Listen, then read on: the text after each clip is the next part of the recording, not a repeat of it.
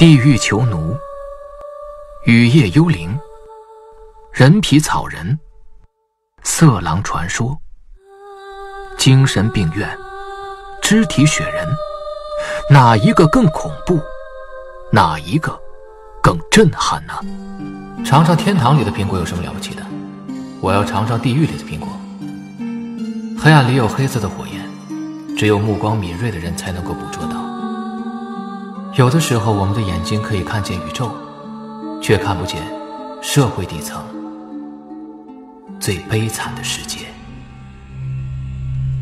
欢迎收听由喜马拉雅和博吉天卷联合出品的长篇有声小说《十宗罪》，作者：蜘蛛，演播：骆驼。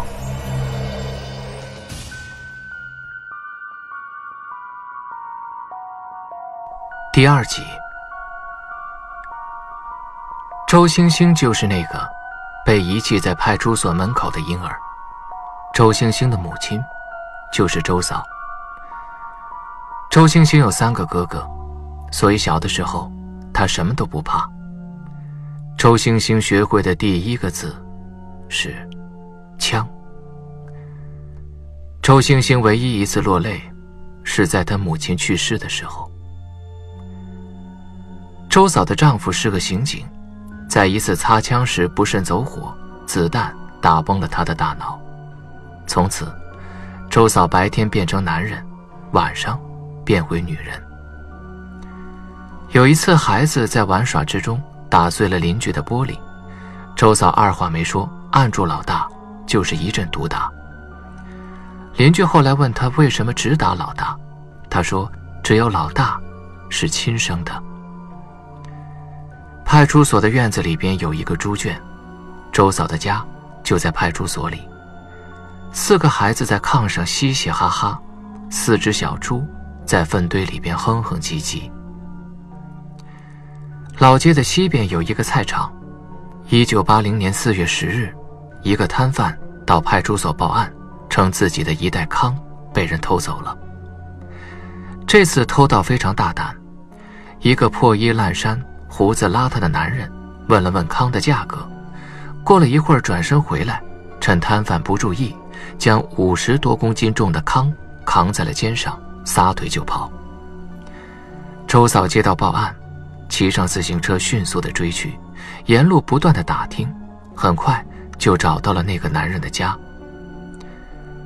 大门开着，院里边榆钱落了一地，推开屋门，周嫂看到墙角。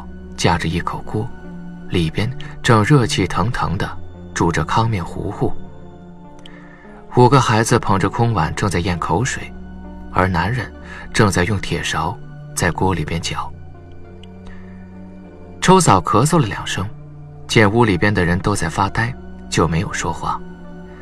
他掏出口袋里边所有的钱，放在了一个孩子的碗里。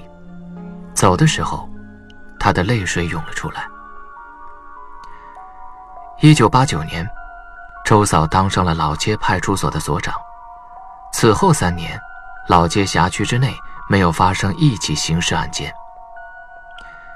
一九九四年，城区规划，老街拆迁成了新街，因为分房不公，群众上访，周嫂脱下警服，在县委门口破口大骂。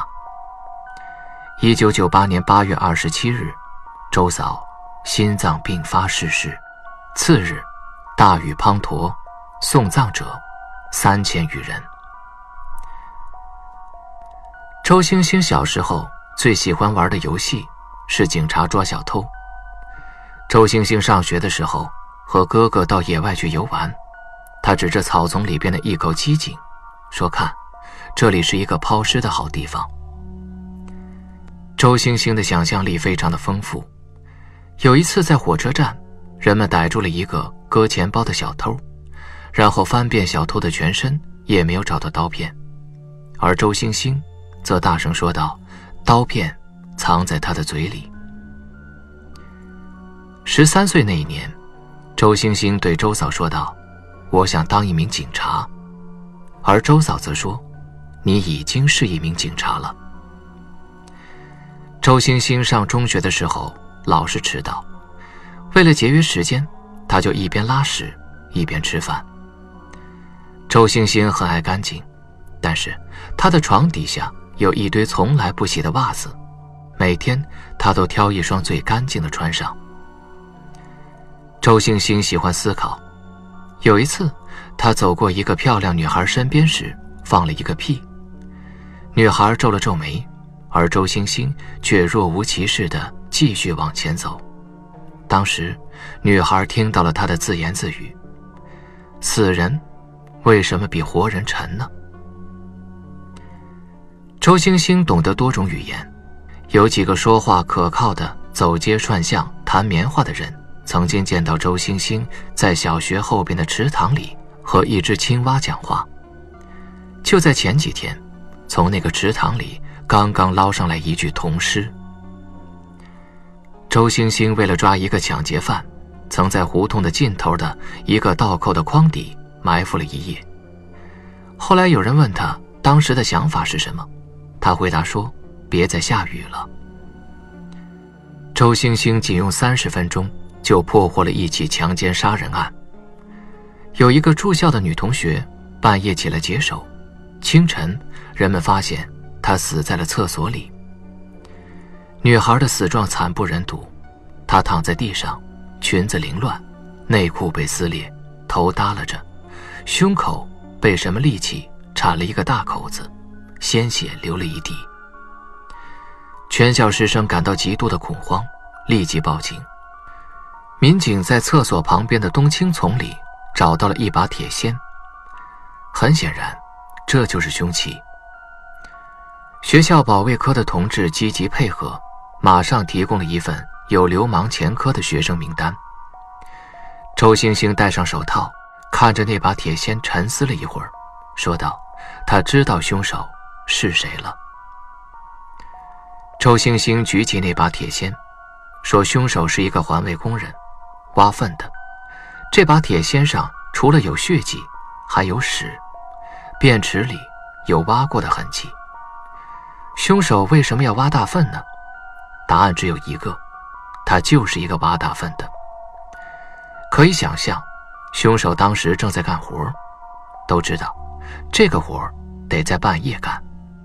然后，那个女学生进来了，然后强奸，再然后。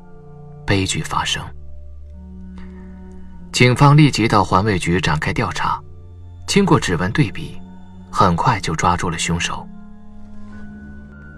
资阳郊区有一所废弃的危楼，周围非常的荒凉，楼前杂草丛生，楼后是一片墓地。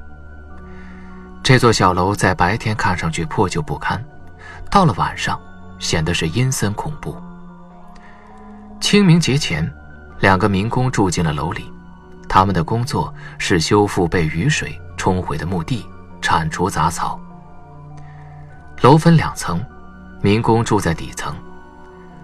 当晚，两个民工大醉，夜里似乎听到楼上有人在哭。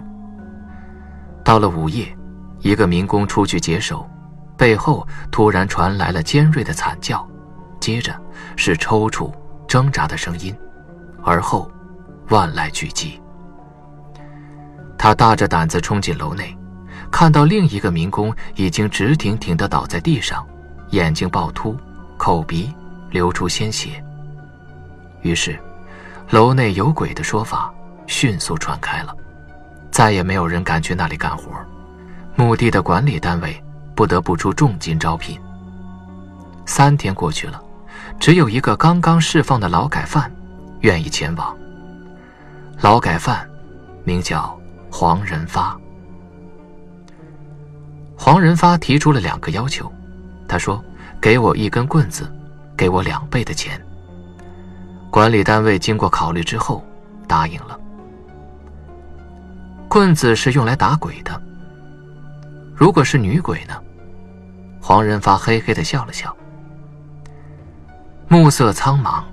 楼内的血腥味已经很淡了，几只蝙蝠飞进飞出。黄仁发干完一天的活，收拾好地铺，在地铺周围摆了一些塑料纸，他关紧门，然后在门后放了一个酒瓶。有经验的小偷都会这么做。如果有人进来，他就会立刻发觉，然后黄仁发抱着棍子就睡着了。他并不知道，他躺的那块地方，就是那个民工死的地方。午夜，门缓缓的开了，酒瓶倒地，发出了清脆的声响。黄仁发立刻坐起来，紧握棍子，然而，却没有人，只有冷风，吹进了屋子里。黄仁发松了一口气，突然，塑料纸一阵哗哗的响，似乎是有脚步踩在上面。黄仁发瞪大眼睛，屋子里确实没人，空荡荡的。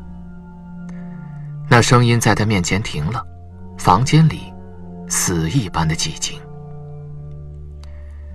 他咳了几声，给自己壮胆。就在这个时候，他的脚。被什么东西给舔了一下，出于本能，他向后退了一步，手中的棍子也抡了下去。棍子触地发出了闷响，肯定打中了那个东西。月光从窗户照了进来，一条死蛇躺在了地上。黄仁发咽了口唾沫，这才发现自己浑身都是冷汗。他用棍子将那条蛇挑起来。搭在阳台上，他想，明天呢，烤烤吃了。睡下不久，他又被一种奇怪的声音惊醒，吱吱的响。半掩的窗帘动了一下，有一个影子一闪而过。他用棍子去拨那个窗帘，猛然看到一个毛茸茸的小脑袋。黄仁发吓得手一哆嗦，莫非是恐惧引起的幻觉吗？他揉了揉眼睛，那个小脑袋就不见了。黄仁发一动不动，侧听四周，楼道里隐隐约约的有脚步声。那脚步声上了楼，接着，楼顶传来了卸下重物的声音。那肯定是装在麻袋里边的死尸，魔鬼的食物。黄仁发的第一个念头就是赶紧离开这里。第二个念头是去看看。这时，传来了絮絮的低语声，可以清楚的听到有一个尖细的嗓音，说着：“味道不错。”黄仁发当过小偷，是一个胆大的人。他曾在一户人家的门后站了一夜，在另一户人家的床下躺了一夜。偷人的东西算是偷，偷鬼的东西。不算是偷，那么为什么不拿几件鬼的东西呢？黄仁发对自己说着：“也许是些宝贝呢。”黄仁发脱了鞋，紧握着棍子，蹑手蹑脚的上了楼。楼上的那间房门虚掩着，有青烟飘了出来，火光闪闪，从门缝里可以看到。映在墙上的一些稀奇古怪的侧像，很奇怪的影子。黄仁发闻到了一种炒糊了芝麻的香味儿，他屏住呼吸，将耳朵贴在门上，下面是那几个鬼的谈话。分吧，山爷。只有大秤，没有天平。我带了一个撇海，挖进去正好一两。他是谁？韩少爷，两个九头半，哼！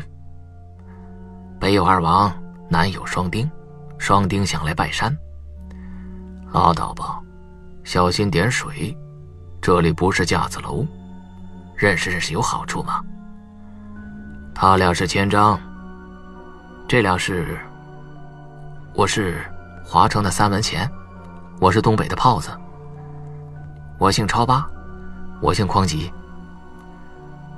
山爷穿了双蛤蟆叫。小飞，小烟包去哪儿了？哦，在甩壤。黄仁发再也不敢听下去了，只有鬼才会这样说话。他两脚发软，只想逃走。这个时候，楼道里来了一个少年，和一个猴子。他还没弄清楚是怎么回事，冷冰冰的枪口就顶住了他的脑袋。少年就是高飞，小猴就是小烟包。有声小说《十宗罪》由喜马拉雅和博吉天卷联合出品，作者蜘蛛，演播骆驼。感谢您的收听，更多精彩内容，请您期待下集。听有声，选骆驼。